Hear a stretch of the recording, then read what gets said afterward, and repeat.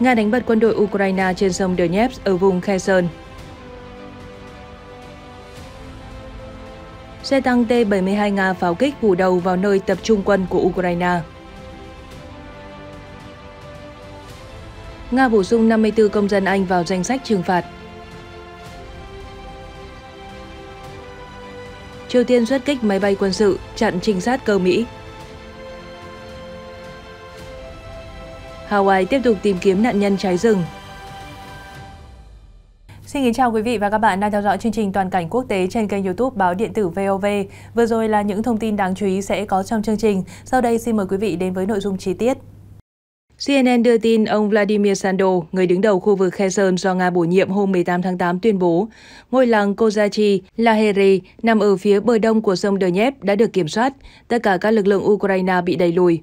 Ông Sando chia sẻ trên Telegram rằng các đơn vị tấn công của nhóm quân Donetsk đã kiểm soát hoàn toàn khu vực tả ngạn của sông Donetsk, gần làng Kozachi, Laheri, ở quận Alyuskina của vùng Kherson.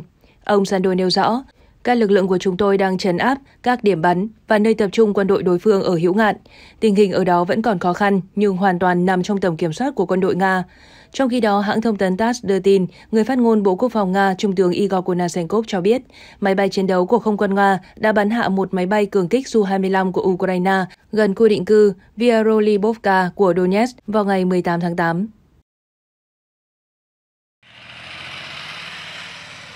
Bộ Quốc phòng Nga công bố video ghi lại cảnh xe tăng T-72 B-3M của nước này pháo kích vào các điểm triển khai nhân lực của quân đội Ukraine. Đoạn video cho thấy kíp xe tăng T-72B3M thuộc quân khu phía Tây khai hỏa vào các cộng sự ngụy trang trong rừng của lực lượng vũ trang Ukraine. Quân đội Nga cho biết các trinh sát đã xác định được các vị trí kho đạn và nơi tập trung quân của đối phương. Ngay sau đó, kíp xe tăng Nga đến khu vực được chỉ định và khai hỏa đạn nổ phân mảnh để gây ra thiệt hại tối đa cho nhân lực cũng như khí tài của đối phương. Pháo kích xong, kíp xe tăng Nga lập tức cơ động rút lui nhằm tránh bị đáp trả.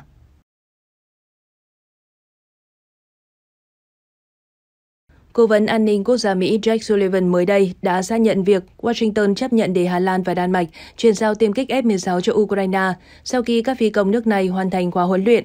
Ông Sullivan thông báo tại cuộc họp hôm 18 tháng 8 rằng sau khóa huấn luyện sẽ là quá trình chuyển giao F-16 khi chúng tôi làm việc với Quốc hội để thực hiện điều đó và làm việc với các đồng minh của chúng tôi. Chúng tôi đã nêu rõ vấn đề đó trong tuần này. Vì này cũng khẳng định lập trường của Mỹ trong việc tiếp tục hỗ trợ Ukraine, rằng Washington đang làm mọi cách để có thể hỗ trợ Kiev tiến hành cuộc phản công. Cùng ngày, Bộ Quốc phòng Đan Mạch cho biết các phi công Ukraine sẽ bắt đầu huấn luyện sử dụng máy bay chiến đấu F-16 tại Đan Mạch vào cuối tháng 8. Một liên minh gồm 11 quốc gia sẽ tham gia vào khóa huấn luyện này. Tập đoàn Năng lượng Nguyên tử thuộc sở hữu nhà nước của Nga Rosatom đã ký thỏa thuận với các quan chức Hungary để bắt đầu xây dựng hai lò phản ứng cho nhà máy điện hạt nhân Park 2. Ông Gergely Gulias, người đứng đầu văn phòng của Thủ tướng Viktor Orbán cho biết, Park 2 có tầm quan trọng đặc biệt đối với Hungary và các nước EU lân cận. Việc xây dựng sẽ bắt đầu vào mùa xuân năm 2024. Nằm cách Budapest khoảng 100 km, Park là nhà máy điện hạt nhân duy nhất của Hungary, vận hành 4 lò phản ứng VVR440 theo thiết kế của Liên Xô để sản xuất khoảng một nửa lượng điện của nước này. Việc bổ sung thêm hai lò phản ứng VVR 1200 mới sẽ tăng gần gấp đôi công suất của nhà máy, điều mà chính phủ của Oban từ lâu đã tìm cách thực hiện để củng cố sự độc lập về năng lượng của Hungary. Budapest lần đầu tiên thỏa thuận với Moscow để xây dựng hai lò phản ứng mới vào năm 2014, nhưng phải mất nhiều năm để có được giấy phép cần thiết từ EU. Ủy ban châu Âu cuối năm đã phê duyệt vào tháng 5 năm nay. Hợp đồng ban đầu dự kiến Nga sẽ cung cấp khoản vay trị giá 10 tỷ euro để trang trải phần lớn chi phí ước tính 12,5 tỷ euro của dự án.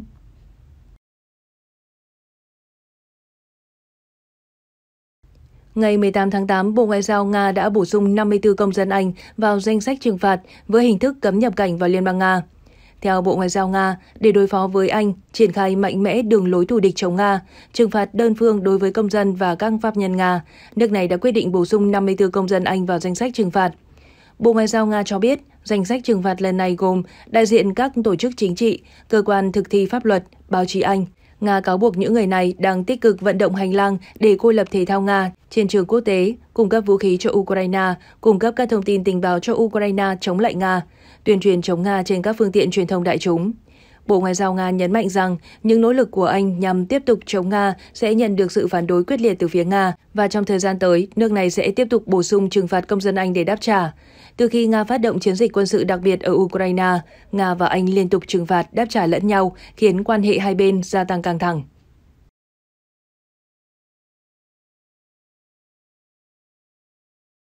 Ngày 18 tháng 8 theo giờ địa phương, Tổng thống Mỹ Joe Biden đã khai mạc hội nghị thượng đỉnh ba bên Mỹ, Nhật, Hàn, trong đó các bên tập trung vào việc tăng cường quan hệ kinh tế và an ninh. Bắt đầu hội nghị với Tổng thống Hàn Quốc Yoon suk yeol và Thủ tướng Nhật Bản Fumio Kishida tại trại David bang Maryland, ông Biden tuyên bố các quốc gia của chúng ta mạnh hơn và thế giới sẽ an toàn hơn khi chúng ta sát cánh cùng nhau. Và tôi biết đây là niềm tin mà cả ba cùng chia sẻ. Nhấn mạnh về sự kiện mà ông gọi là hội nghị thượng đỉnh độc lập đầu tiên của ba quốc gia, Tổng thống Biden bày tỏ cảm ơn tới hai nhà lãnh đạo Nhật Bản và Hàn Quốc. Trong khi đó, phát biểu khi cả ba nhà lãnh đạo xuất hiện trước các phóng viên, Tổng thống Hàn Quốc Yoon suk yeol nói, hôm nay sẽ được ghi nhớ như một ngày lịch sử, nơi chúng tôi thiết lập một cơ sở thể chế vững chắc và các cam kết đối với quan hệ đối tác ba bên.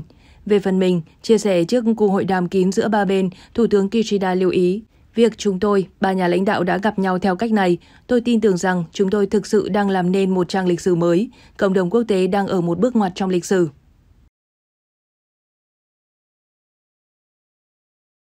Hãng thông tấn quốc gia Triều Tiên KCNA hôm 18 tháng 8 đưa tin, máy bay trinh sát của quân đội Mỹ đã xâm phạm vùng đặc quyền kinh tế của Triều Tiên 3 lần trong khoảng thời gian từ 5 giờ 38 phút đến 6 giờ 37 phút ngày 17 tháng 7 để thực hiện hoạt động trinh sát trên không.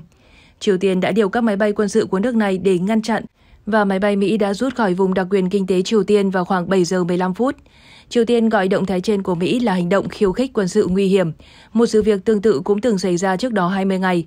Quân đội Triều Tiên tuyên bố vùng đặc quyền kinh tế là một phần lãnh thổ Triều Tiên và Bình Nhưỡng sẵn sàng thực hiện bất kỳ hành động nào để bảo vệ chủ quyền. Triều Tiên cũng thông báo nước này đang cân nhắc triển khai một tàu mang tên lửa để ngăn chặn sự xâm nhập của máy bay trinh sát Mỹ trong khu vực. Vụ việc xảy ra ngay trước hội nghị thượng đỉnh ba bên giữa Tổng thống Hàn Quốc Yoon suk yeol và Tổng thống Mỹ Joe Biden cùng Thủ tướng Nhật Bản Fumio Kishida. Theo thông báo ngày 18 tháng 8 của Ủy ban châu EC, mức dự trữ khí đốt của Liên minh châu đã đạt 1.024 terawatt, tương đương hơn 93 tỷ mét khối và 90,12% công suất lưu trữ. Các cơ sở dự trữ khí đốt của Liên minh châu EU đã đạt được mục tiêu lấp đầy 90% trước thời hạn vào ngày 1 tháng 11 tới. Theo thông báo vào ngày 18 tháng 8 của Ủy ban châu EC, mức dự trữ khí đốt của EU đã đạt 1.024 terawatt, tương đương hơn 93 tỷ mét khối và 90,12% công suất lưu trữ. Như vậy, EU đã đạt mục tiêu lấp đầy 90% kho dự trữ khí đốt sớm gần 3 tháng so với thời hạn đề ra. Sau khi Nga mở chiến dịch quân sự đặc biệt tại Ukraine, dẫn đến một cuộc khủng hoảng năng lượng ở châu Âu, EU đã thực hiện các biện pháp để đảm bảo nguồn cung khí đốt cho mùa đông. Trang web chính thức của hạt Maui bang Hawaii, Mỹ ngày 18 tháng 8 cho hay 58% khu vực đã được tìm kiếm trong vụ cháy rừng thảm khốc từ ngày 8 tháng 8 khiến ít nhất 111 người thiệt mạng. Cơ quan ứng phó thảm họa cháy rừng Maui chỉ mới nhận dạng được 6 nạn nhân thiệt mạng, trong đó có trường hợp mới nhất là bà Donna Gomez, 71 tuổi tại thị trấn Lahaina. Các chuyên gia pháp y từng nhận dạng các nạn nhân vụ khủng bố 11 tháng 9 đang hỗ trợ nhận dạng các thi hài bị biến dạng nghiêm trọng do hỏa hoạn. Giám đốc Sở Tư pháp bang Hawaii Annie Lopez cho biết đã chỉ định một cơ quan độc lập điều tra công tác chuẩn bị và ứng phó thảm họa. Ngày 17 tháng 8, Giám đốc cơ quan quản lý tình trạng khẩn cấp Maui, Herman Andreyer đã từ chức vì lý do sức khỏe, sau nhiều lời chỉ trích về việc hệ thống báo động không được kích hoạt trong vụ cháy. Cơ quan vũ trụ Liên bang Nga Roscosmos thông báo, tàu thăm dò Luna 25 của nước này đã gửi về những hình ảnh đầu tiên chụp miệng núi lửa vùng cực ở phía xa của mặt trăng. Những hình ảnh được gửi về chụp miệng núi lửa Zeeman khổng lồ có gác cạnh nhô cao gần 8 km so với bề mặt mặt trăng. Trước đó do Yemen nằm ở phần mặt trăng không hướng đối diện với trái đất nên các nhà thiên văn học không thể quan sát được miệng núi lửa này. Luna 25 là tàu thăm dò mặt trăng đầu tiên trong lịch sử nước Nga hiện đại, được chế tạo hoàn toàn từ linh kiện nội địa. Tàu được phóng lên không gian vào ngày 11 tháng 8 vừa qua, với mục tiêu trở thành tàu vũ trụ đầu tiên hạ cánh mềm xuống cực nam của mặt trăng. Hoạt động này dự kiến sẽ diễn ra vào ngày 21 tháng 8 tới.